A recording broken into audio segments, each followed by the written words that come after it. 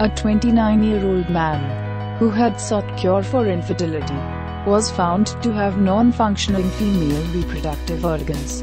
Doctors at the government-run Mumbai hospital operated on him last month and removed a uterus, partial vagina, fallopian tubes and cervix from his body.